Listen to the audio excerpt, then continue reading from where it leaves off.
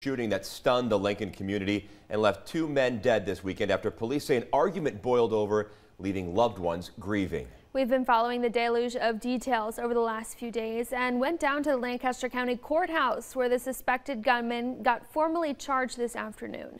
1011's John Grinvalds has the details on that story.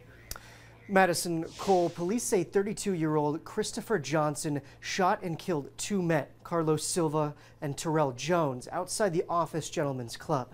His four charges could put him behind bars for the rest of his life. As loved ones of the two murdered men crowded into court today, Judge Thomas Zimmerman addressed them. Uh, yesterday we had an outburst during our arraignment session, and that was unfortunate. I understand the reasons for that. I'm just going to ask that everybody please remain calm during this uh, session. A sign of the heightened emotion in this case that's left the victims' families scrambling to pick up the pieces. There were fathers, so we have 10 children without, without fathers.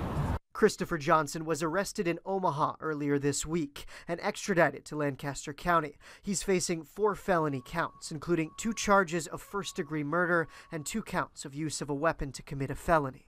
Bond is set at, um, there's no bond set. Meaning Johnson will likely be held in custody at least until a verdict is reached in the case, which came as some relief to the victims' families. A great job.